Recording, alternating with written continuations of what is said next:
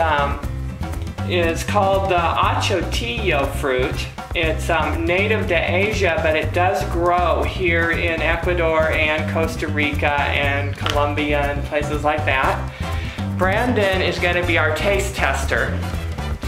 He's going to eat this fuzzy looking achotillo fruit and let us know what they taste like. And show you how to open them up the way the locals do it. Okay? Well, Just like that. You just grab the skin and pull it off. And inside is this white looking,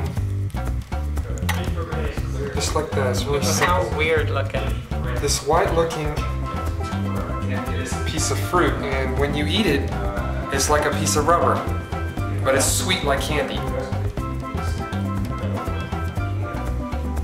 And you don't chew it, you don't swallow it, you just kind of suck the juice out of it. Because you can't chew it? You can't, why? It's a piece of rubber. It's like a piece of Oh, rubber how? from a car tire. How strange. Okay. But it's really sweet like a piece of candy. Okay, so it's sweet like a piece of candy, mm-hmm. But you can only suck on it and chew it like a piece of candy. It doesn't break up or anything, well, it stays completely whole. oh, that's strange. Oh, that's There's a after little- chewing it. There is a little seed in the middle. Alrighty then. Interesting. Did you want the other one?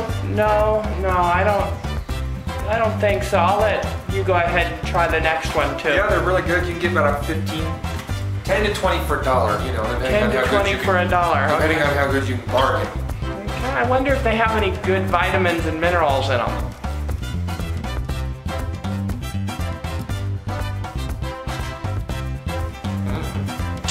Huh, okay. Well, anything else you want to say about those fruits? Go buy some. Well, where can they get them in North America? Uh, chatillo fruit. In North America, yeah, I don't think they can. okay. Didn't think so either. I've never seen these anywhere. They sell them all over downtown, in the wheelbarrows, you know, like they do grapes and cherries. Or at Feria Libre, they're all over the place. From the window, yeah. Okay. So have at it. All right. Well, thanks, Brandon, for telling us all about that fruit. Mhm.